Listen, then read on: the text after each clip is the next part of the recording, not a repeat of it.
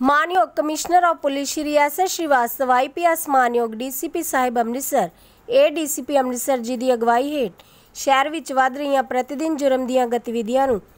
ਠੱਲ ਪਾਉਣ ਲਈ ਹਦਾਇਤਾਂ ਜਾਰੀ ਕੀਤੀਆਂ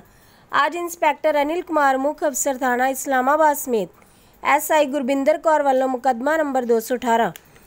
ਜੁਰਮ 363 366 ਦੋਸ਼ੀ ਵਿਸ਼ਾਲ ਮਿੱਤਰ ਉਰਫ ਵਿਸ਼ਵਾ ਮਿੱਤਰ ਵਾਸੀ ਪਿੰਡ ਰਾਏਪੁਰ ਵਾਸੀ 813 ਸੁਲਤਾਨਵਿੰਡ ਰੋਡ ਅੰਮ੍ਰਿਤਸਰ ਦਰਜ ਕੀਤਾ ਗਿਆ, ਜਿਸ ਤੇ ਮੁਕੱਦਮਾ ਹਜ਼ਾ ਦੇ ਦੋਸ਼ੀ ਵਿਸ਼ਾਲ ਮਿੱਤਰ ਉਕਤ ਦੀ ਕਾਫੀ ਭਾਲ ਕਰਨ ਤੋਂ ਬਾਅਦ ਇਸ ਨੂੰ ਕੱਲ 27/8/2019 ਨੂੰ ਵੇਰਕਾ ਅੰਮ੍ਰਿਤਸਰ ਤੋਂ ਸਮੇਤ ਪੀੜਿਤ ਲੜਕੀ ਗੀਤਾਂਜਲੀ ਪੁੱਤਰੀ ਮਹੇਸ਼ ਕੁਮਾਰ ਵਾਸੀ ਦਸ਼ਮੇਸ਼ ਨਗਰ ਇੰਦਰਪੁਰੀ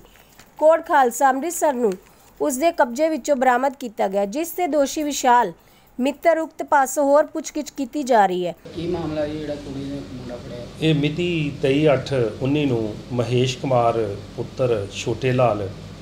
ਵਾਸੀ ਨਿਊ ਦਸ਼ਮੇਸ਼ ਨਗਰ ਇੰਦਰਪੁਰੀ ਕੋਟ ਖਾਲਸਾ ਨੇ ਸਬ ਇੰਸਪੈਕਟਰ ਗੁਰਵਿੰਦਰ ਕੌਰ ਨੂੰ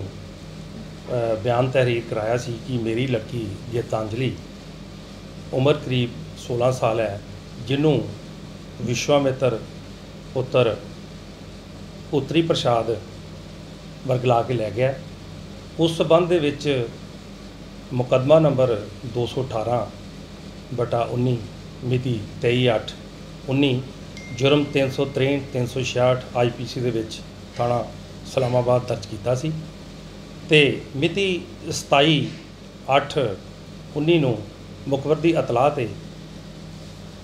ਉ- ਵਿਸ਼ਵਾਮਿੱਤਰ ਨੂੰ ਤੇ ਗਤਾਂਦਲੀ ਨੂੰ ਵੇਰਕਾ ਪਾਸੋਂ ਗ੍ਰਿਫਤਾਰ ਕਰ ਲਿਆ ਤੇ ਜਿਹੜਾ ਮੁਲਜ਼ਮ ਨੂੰ ਅਸੀਂ ਅੱਜ ਪੇਸ਼ ਅਦਾਲਤ ਕਰਕੇ ਪੇਸ਼ ਅਦਾਲਤ ਕਰਨਾ ਹੈ ਤੇ ਅਗਲੀ ਕਾਰਵਾਈ ਯਾਰ ਮੁੰਡੇ ਦੀ ਕਿੰਨੀ ਉਮਰ ਹੈ? ਮੁੰਡੇ ਦੀ ਉਮਰ ਕਰੀਬ 32 ਸਾਲ ਹੈ। ਸ਼ਾਦੀशुदा ਹੈ? ਹਾਂ ਇਹ ਸ਼ਾਦੀਸ਼ੁਦਾ ਹੈ।